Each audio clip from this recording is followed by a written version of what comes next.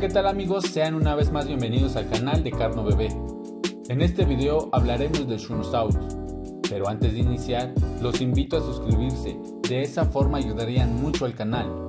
Además, no olviden activar la campanita para que YouTube les notifique cuando suba un video nuevo y ustedes sean los primeros en verlo.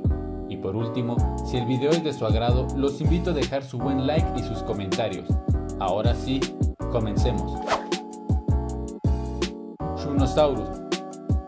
Que su nombre significa lagarto de Shu.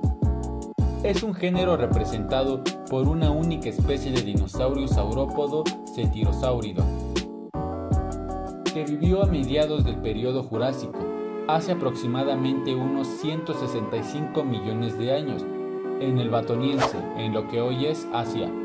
El nombre deriva de Shu, un antiguo nombre de Sichuan. Fue recolectado de la formación bajo Shashimiao, en Dashanfu, Sihong, China.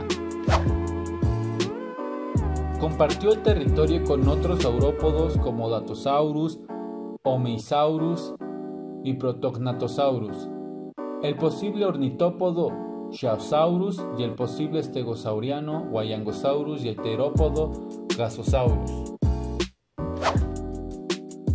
Shunosaurus es clasificado como un saurópodo cercano al Roetosaurus de Queensland, en Australia. Desde 1979 se han encontrado más esqueletos de este dinosaurio, completos o casi completos, lo que lo hace uno de los mejores saurópodos conocidos. Y de nuevo los invito a suscribirse, de esa forma ayudarían mucho al canal y a su contenido. Les agradezco la atención y que continúe el video. Si observamos la mandíbula de Shunosaurus, veremos que tenía una mandíbula débil con todos los dientes en forma de lápiz y los de la mandíbula superior considerablemente mayores que los de la mandíbula inferior. Estos dientes en forma de lápiz solo servían para arrancar las hojas y no eran de utilidad para masticar.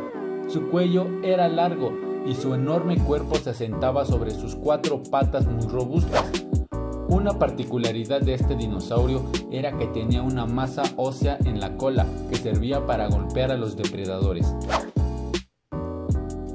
Eran frecuentes las lluvias torrenciales que hacían aumentar mucho el caudal de los ríos. Si esto ocurría en un valle estrecho, los animales podían morir ahogados. Los fósiles hallados demuestran que esto era frecuente en el hábitat del Shunosaurus. Pudo llegar a medir hasta 12 metros de largo, 5 de alto y a pesar 8 toneladas.